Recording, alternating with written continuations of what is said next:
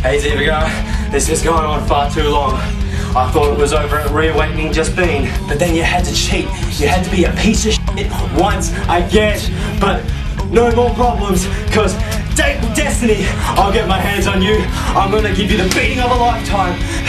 you thought tonight was something? That ain't nothing compared to what's gonna happen to you. Ah! A strap match? A strap match? Strap match?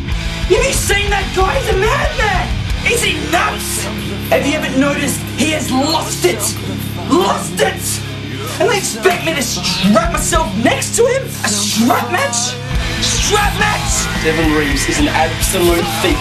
He had no business sticking his nose in this war. Devlin Reeves!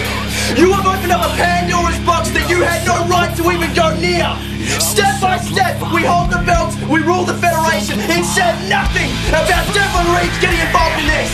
He can steal whatever he wants. Like, what the hell? Just because you own the belt doesn't mean you're a champion. He'll never be the champion. Never be a As long as. I live, as long as I stand, I will get that belt back. When all was said and done, Devlin Reeves had his hand raised. One, two, three as the winner. You see, no one believed in Devlin Reeves. No one thought he was a top player. But I proved myself tonight to every single person in that building that I am worthy. That I am worthy to face you, Jimmy Payne.